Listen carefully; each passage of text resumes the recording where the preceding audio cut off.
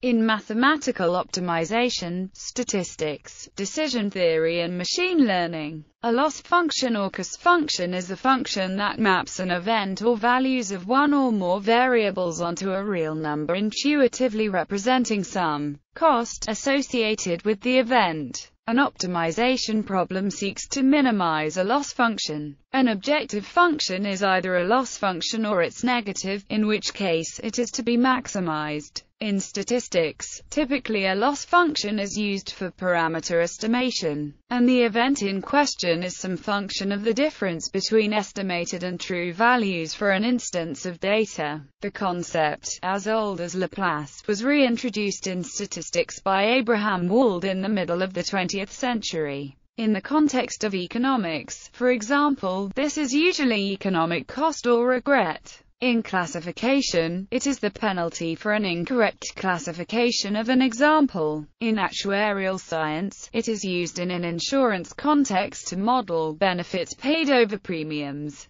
particularly since the works of Harold Kramayer-Kutar in the 1920s. In optimal control the loss is the penalty for failing to achieve a desired value. In financial risk management the function is precisely mapped to a monetary loss. Use in statistics. Parameter estimation for supervised learning tasks such as regression or classification can be formulated as the minimization of a loss function over a training set. The goal of estimation is to find a function that models its input well. If it were applied to the training set, it should predict the values associated with the samples in that set. The loss function quantifies the amount by which the prediction deviates from the actual values. Definition Formally, we begin by considering some family of distributions for a random variable x, that is indexed by some theta. More intuitively, we can think of x as our data, perhaps, where i, i, d. The x is the set of things the decision rule will be making decisions on. There exists some number of possible ways to model our data X, which our decision function can use to make decisions.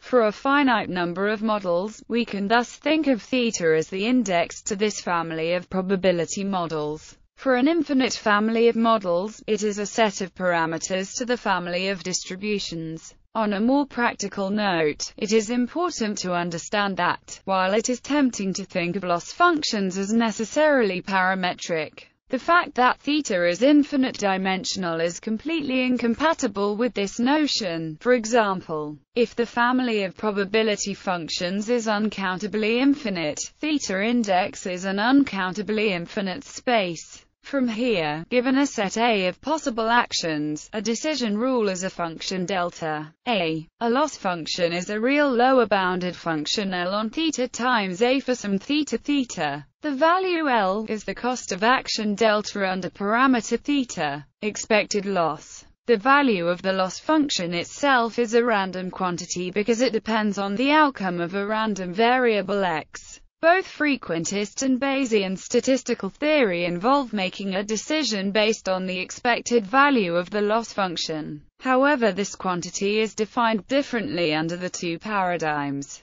Frequentist expected loss We first define the expected loss in the frequentist context. It is obtained by taking the expected value with respect to the probability distribution p theta of the observed data. This is also referred to as the risk function of the decision rule delta and the parameter theta. Here the decision rule depends on the outcome of x. The risk function is given by Bayesian expected loss in a Bayesian approach. The expectation is calculated using the posterior distribution pi asterisk of the parameter theta. One then should choose the action or asterisk which minimizes the expected loss although this will result in choosing the same action as would be chosen using the frequentist risk. The emphasis of the Bayesian approach is that one is only interested in choosing the optimal action under the actual observed data, whereas choosing the actual Bayes optimal decision rule, which is a function of all possible observations, is a much more difficult problem. Economic choice under uncertainty in economics Decision-making under uncertainty is often modeled using the von Neumann-Morgenstern utility function of the uncertain variable of interest. such as end-of-period wealth. Since the value of this variable is uncertain, so is the value of the utility function, it is the expected value of utility that is maximized. Examples for a scalar parameter theta, a decision function whose output is an estimate of theta, and a quadratic loss function. The risk function becomes the mean squared error of the estimate. In density estimation, the unknown parameter is probability density itself.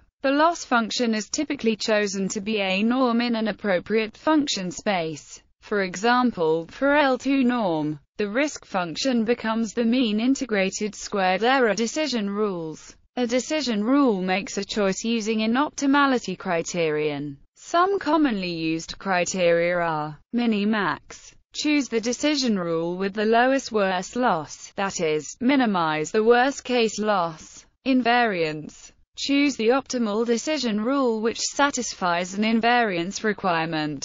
Choose the decision rule with the lowest average loss. Selecting a loss function. Sound statistical practice requires selecting an estimator consistent with the actual acceptable variation experienced in the context of a particular applied problem. Thus, in the applied use of loss functions, selecting which statistical method to use to model an applied problem depends on knowing the losses that will be experienced from being wrong under the problem's particular circumstances. A common example involves estimating location under typical statistical assumptions. The mean or average is the statistic for estimating location that minimizes the expected loss experienced under the squared error loss function, while the median is the estimator that minimizes expected loss experienced under the absolute difference loss function. Still different estimators would be optimal under other, less common circumstances. In economics, when an agent is risk-neutral, the objective function is simply expressed in monetary terms, such as profit, income, or end-of-period wealth. But for risk-averse agents, loss is measured as the negative of a utility function, which represents satisfaction and is usually interpreted in ordinal terms rather than in cardinal terms. Other measures of cost are possible, for example mortality or morbidity in the field of public health or safety engineering. For most optimization algorithms, it is desirable to have a loss function that is globally continuous and differentiable. Two very commonly used loss functions are the squared loss, and the absolute loss. However, the absolute loss has the disadvantage that it is not differentiable it the squared loss has the disadvantage that it has the tendency to be dominated by outliers when summing over a set of S. The final sum tends to be the result of a few particularly larger values, rather than an expression of the average of value. The choice of a loss function is not arbitrary. It is very restrictive and sometimes the loss function may be characterized by its desirable properties. Among the choice principles are, for example, the requirement of completeness of the class of symmetric statistics in the case of I, I, D, observations, the principle of complete information, and some others. Loss functions in Bayesian statistics one of the consequences of Bayesian inference is that in addition to experimental data, the loss function does not in itself wholly determine a decision. What is important is the relationship between the loss function and the posterior probability.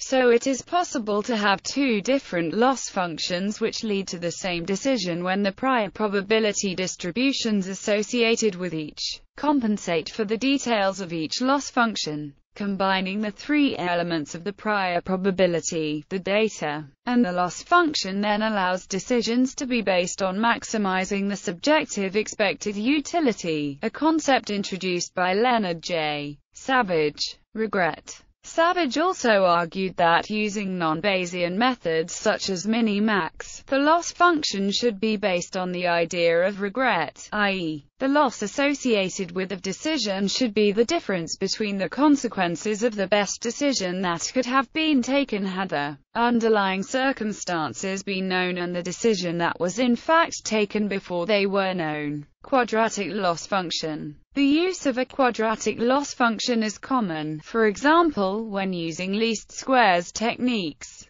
It is often more mathematically tractable than other loss functions because of the properties of variances, as well as being symmetric. An error above the target causes the same loss as the same magnitude of error below the target. If the target is t, then a quadratic loss function is for some constant c. The value of the constant makes no difference to a decision, and can be ignored by setting it equal to 1. Many common statistics, including t-tests, regression models, design of experiments, and much else, use least squares methods applied using linear regression theory, which is based on the quadratic loss function. The quadratic loss function is also used in linear, quadratic optimal control problems. In these problems, even in the absence of uncertainty, it may not be possible to achieve the desired values of all target variables. Often loss is expressed as a quadratic form in the deviations of the variables of interest from their desired values. This approach is tractable, because it results in linear first-order conditions. In the context of stochastic control, the expected value of the quadratic form is used. 0 to 1 loss function. In statistics and decision theory, a frequently used loss function is the 0 to 1 loss function whereas the indicator notation